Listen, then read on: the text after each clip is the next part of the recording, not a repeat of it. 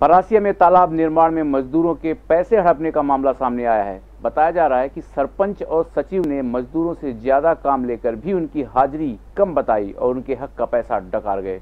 ग्राम पंचायत तुमड़ी में मजदूरों के हक में सेंध लगाकर ग्राम पंचायत के सरपंच सचिव भ्रष्टाचार कर रहे हैं। तालाब में काम कर रहे मजदूरों ने बताया कि फर्जी तरीके से हाजिरी भरवाई जा रही है।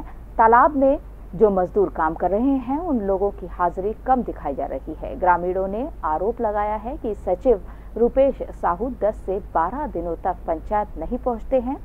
सरकार द्वारा मजदूरों को काम देकर उनके रोज़गार और संसाधन की व्यवस्था की जा रही है, लेकिन इस तरह के भ्रष्टाचार से योजनाओं को पलीता लगाया जा रहा है। सर यहाँ पे अभी जो सरकार द्वारा किट बांटी गई थी वो यहाँ किसी को भी नहीं मिली है किट। दूसरी बात यहाँ पे जो मजदूर हैं उनको अपना हक नहीं दिया जा रहा है। पचपन रुपये के एक सौ पचपन के हिसाब से या एक सौ बीस के हिसाब से रेट डल रहा है जो अभी करंट रेट है। और अठारह लोग की फर्जी हाजिरी मिली है। अठारह लोग की फर्जी हाजिरी के लिए बोले तो बोलने लगे कि कल से मशीन आएगी मशीन काम करेगी। मजदूर लोग यहाँ से काम नहीं निकाल रहे हैं। पंचायत में हमने फ़ोन लगाया था ना तो सचिव था ना तो सहायक सचिव था। हमने कल वहाँ पे बुलवाए थे फर्जीवाड़ा के लिए। कोई नहीं आया वहाँ पे। और मेट को बोले तो मेट कहने लगा कि मैं तो हमने बोले, हम मेट बदली करेंगे। तो मेट बोलने लगा कि मैं 2007 से यहाँ काम कर रहा हूँ, मेरे को कोई हटा नहीं सकता।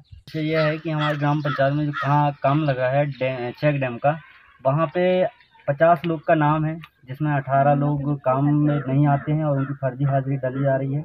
और हम उन लोग को बोलते हैं तो बोलते हैं कि हम काट देंगे, उनका नाम हटा देंगे, ये कर देंगे, वो कर देंगे और वहाँ पे कुछ काम नहीं हो पा रहा है। सचिव को बुलवाते हैं तो सचिव यहाँ पे आ नहीं पा रहा है। पंद्रह दिनों से अभी पंचायत भवन में कोई नहीं आता है सहायक सचिव आता है उसको बोलते हैं तो वो भी कुछ संगीत की स्वर लहरियों से सांस्कृतिक ताने बाने तक चंबल के पीड़ों से नक्सलवादियों के गढ़ तक झोपड़ी से महलों तक ठेलों से मेलों तक पगडंडियों से सड़कों तक गाँव से शहरों तक व्यापार से उद्योगों तक। राजनीति से कूटनीति तक। दखल न्यूज़। आपके हक